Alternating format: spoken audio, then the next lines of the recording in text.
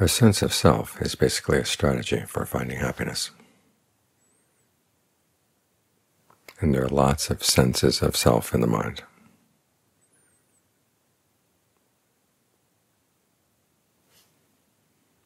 They're usually composed of a sense of the self as the consumer, the person who's going to reap the happiness of the actions, and then there's the self as the producer, the one who has or doesn't have the means for bringing that happiness about.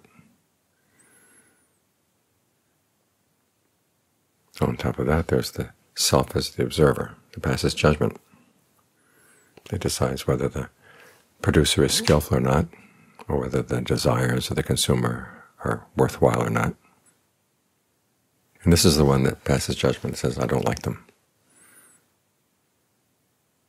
Either seeing that the producer is not really capable, or at least doesn't have the skills needed for true happiness, or that the consumer has been sloppy, unobservant,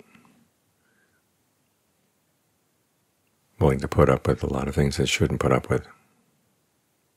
Now this observer, critic, can be helpful if it's trained. It can also be very destructive. But when you say you don't like yourself, it's not so much that there is one self there to like or not. It's simply you look at the various strategies you've used in order to find happiness, and they don't seem to work well. And no matter how hard you may try, it seems that you just keep falling back into these unskillful patterns. And there's a sense of frustration. But you have to keep reminding yourself, it's not the case that yourself has a certain pattern and that everything coming out of that self is going to be following that pattern.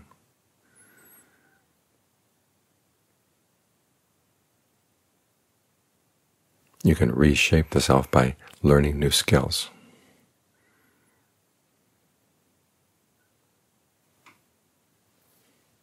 i.e. the skills are not determined by the kind of selves you had in the past, or at least they don't have to be.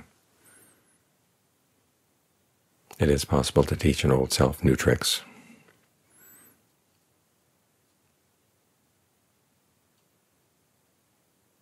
This is a lot of what the practice is about learning the Buddha's tricks.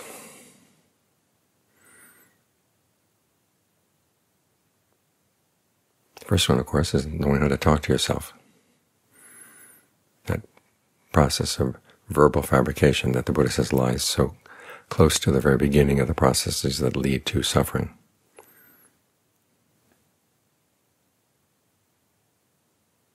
Think about how the Buddha himself would teach people.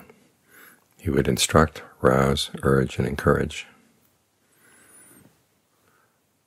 Three of the four have to do with getting you motivated, getting you confident, that this is something you can do. The instruction there, of course, is to make sure that your self-esteem is based in reality. You do have to point out to yourself that there are ways in which you've been looking for happiness in the past that really have been unskillful. You don't pretend that they're not there. And it doesn't help to pretend to, your, to yourself that you don't have anything unskillful inside. You want to be clear-headed about where you've been making mistakes in the past so you don't repeat them. This is what the Buddha placed honesty as the first principle in the, in the practice. Without honesty, he says, you don't have the quality of a, of a true contemplative, someone who's really on the path.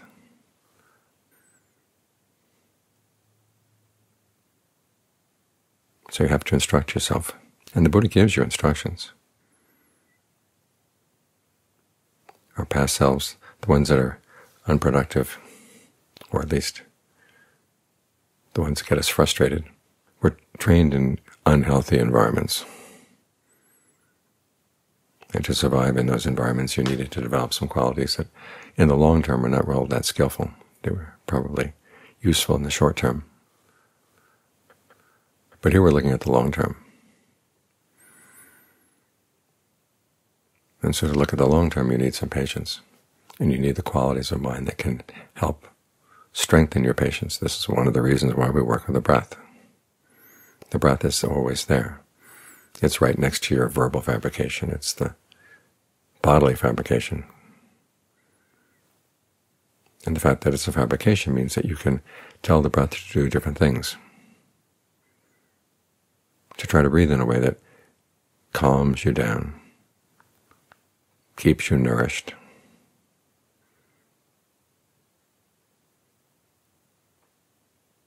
So you're not so desperate to get quick results. You've got some goodness, you've got some sense of well-being right here, right now that you can tap into.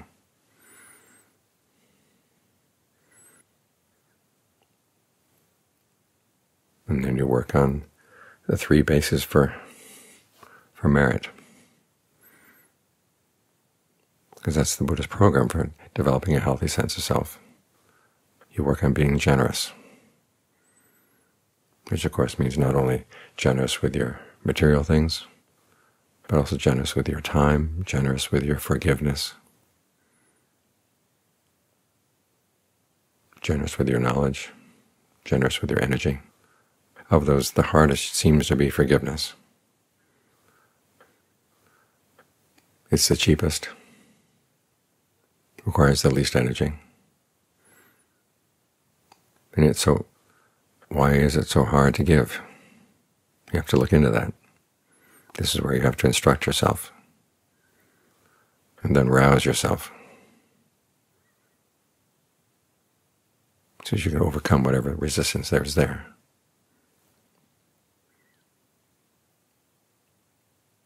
Now with virtue, you try to behave in ways that are harmless,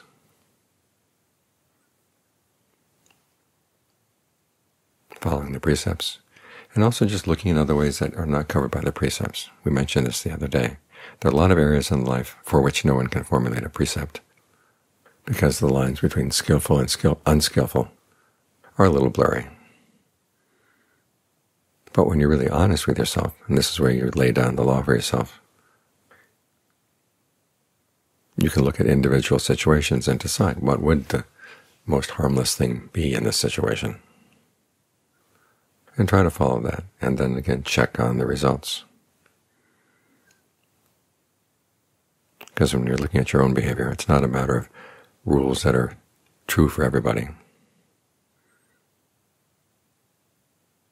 You're looking into areas that do have a little bit of gray, sometimes a lot of gray. But when you're really honest with yourself, you can say, okay, in this particular situation, it's okay to say something a little harsh. In that situation, no.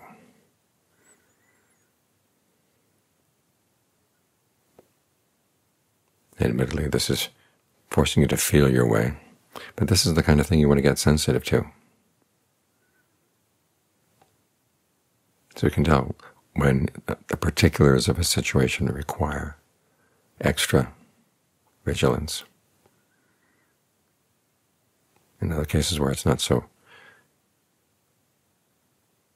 not so demanding. And then finally, lots of goodwill. When the Buddha talks about development, and those three bases for merit, he ties it again and again with the development of goodwill, wishing that all beings be happy, which means that when you're looking for your own happiness, you want to make sure that it doesn't interfere with other people's, at least doesn't cause them harm. There may be some people who are unhappy with the fact that you're practicing, but you're not really harming them. to harm people, you you'd have to get them to break precepts. You'd have to get them to. You'd have to want them to give rise to passion, aversion, and delusion. But here you're doing none of that.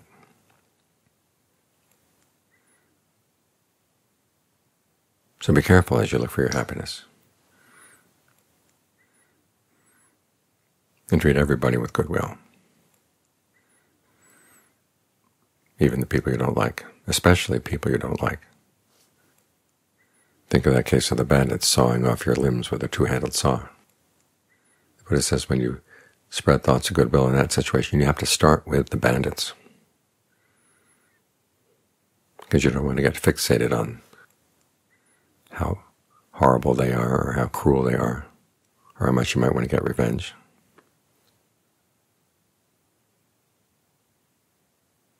Because who knows when you might die, and you don't want to die with those thoughts in mind. So first order of business, goodwill, goodwill. And as you learn how to look for happiness through virtue, through generosity, through development of goodwill, you find that you develop new skills.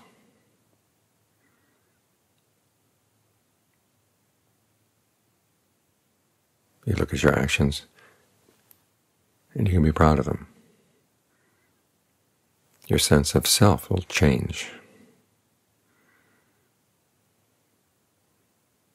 So remember, it's important that you don't think that you have a certain kind of self which always has to look for happiness in a certain kind of way.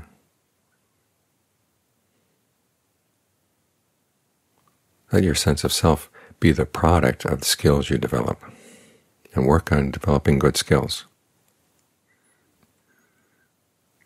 And that way you get around what seems to be that impasse, which is if you don't like yourself, you don't trust yourself, how can you trust yourself to change yourself? And you realize the way around that is that you have many selves. So use the good selves, develop more good selves. Then you can let the unskillful ones fall by the way.